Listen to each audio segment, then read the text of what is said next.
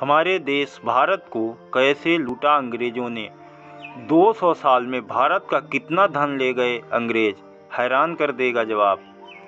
तो चलिए दोस्तों, हम आज अंग्रेज़ों के लूट के बारे में कुछ बातें करेंगे।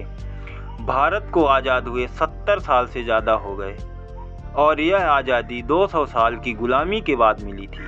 ब्रिटेन ने इन 200 सालों में भारत को बहुत लूटा और भारत की अरबों की संपत्ति लेकर चले गए। लेकिन कभी आपने अंदाज़ा लगाया है कि इन 200 सालों में भारत की कितनी संपत्ति को लूट लिया गया? आज आपको इस सवाल का जवाब मिल ही जाएगा। आपने सुना होगा कि भारत को सोने की चिड़िया कहा जाता था, लेकिन ब्रिटिश शासन के बाद भारत का काफ़ी धन लूट लिया गया वैसे तो इसका अंदाज़ा लगाना ही काफ़ी मुश्किल है, लेकिन प्रसिद्ध अर्थशास्त्री उत्साह पटनायक ने जो संभावित रकम बताई, जितनी भारत से लूटी गई है। 200 साल तक देश में अत्याचार करके अंग्रेज़ वापस तो लौट गए, लेकिन इतने समय में उन्होंने हमारा काफ़ी धन लूट लिया।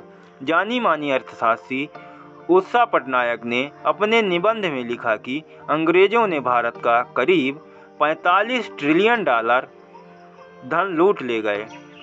45 ट्रिलियन डॉलर असल में इतना ज़्यादा है कि ये यूनाइटेड किंगडम की जीडीपी से 17 गुना ज़्यादा है।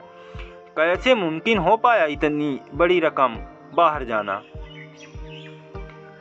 ईस्ट इंडिया कंपनी ने कई तरह के कर लगाए, ये कर व्यापारियों पर लगाए और साथ ही साथ आम नागरिकों पर भी। इन करों का असर ये निकला कि कंपनी की आमदनी बढ़ गई। इसी आमदनी का एक तिहाई हिस्सा भारतीयों से सामान खरीदने पर खर्च कर दिया। यानी जो कर व्यापारी देते थे, उसका एक हिस्सा उनसे सामान खरीदने के लिए ही खर्च कर दिया जाता था। यानी कि भारतीय सामान को विदेशी फ्री में इस्तेमाल करते थे। उसके लिए अपनी जेब से पैसा नहीं देते थे।